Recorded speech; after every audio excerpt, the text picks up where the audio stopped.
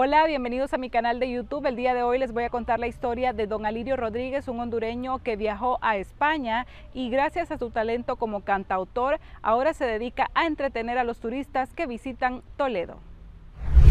Con mi carreta que van tirando, mis cuatro bueyes confiando en Dios. Con mi carreta vengo llegando para venderla aquí en la ciudad. Por eso vengo siempre cantando el canto alegre del bananal. Con mi carreta vengo llegando, de ahí nomás de Guarumado. Con mi carreta que van tirando, cuatro bueyes confiando en Dios. Con mi carguita vengo llegando para venderla aquí en la ciudad. Por eso vengo siempre cantando el canto alegre del banana. Alirio, eh, bueno, usted un hondureño que ha migrado a España, ¿cómo ha sido la situación al migrar a este país? Bueno, gracias, muy amable. Ha sido por una parte bien por otra también difícil.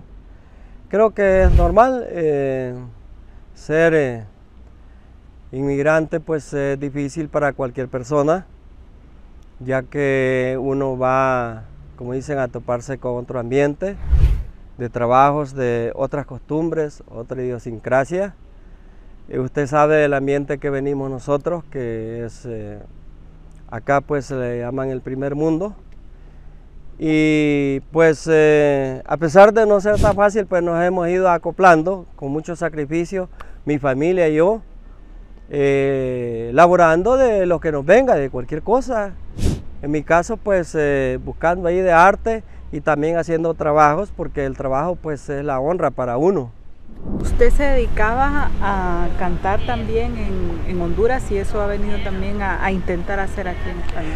Sí, correcto. Este, yo soy cantautor y en Honduras eh, estaba cantando en diferentes municipios del país con un mariachi y como solista también. Le han dado la oportunidad, gracias a unos eh, amigos, don Alirio, de poder instalarse en una plaza aquí en Toledo. Bueno, sí, eh, he conocido unos amigos mariachis de Nicaragua que tienen ya cierto tiempo establecidos por acá y a través de ellos, pues me han hecho como puente, dicen, con el permiso para que yo me plante en una parte y pueda compartir con los turistas. Entonces así hemos logrado pues hacernos escuchar y a raíz de eso pues ya la gente me está conociendo para contratarme en cumpleaños y los pueblos circunvecinos acá también. En unos pueblos cercanos de acá de Toledo ya estamos yendo a cantar los fines de semana y esperamos eh, abrirnos más en ese campo para que así pues eh, podamos eh, entrar de lleno y hacer lo que más nos gusta a nosotros porque es un modo de trabajo también. Y, qué bueno que la gente pues nos está reconociendo cada vez más en este ámbito del arte, ¿no? Me especializo en cantar eh, tipo mariachi, boleros, boleros latinoamericanos y también, eh, lógicamente, domino un poco de la música hondureña. A pesar de todos los obstáculos que ha atravesado don Alirio luego de emigrar a España, asegura que no cambiaría la tranquilidad que tiene este país por nada. Te invito para que le des like a este video y te suscribas a mi canal.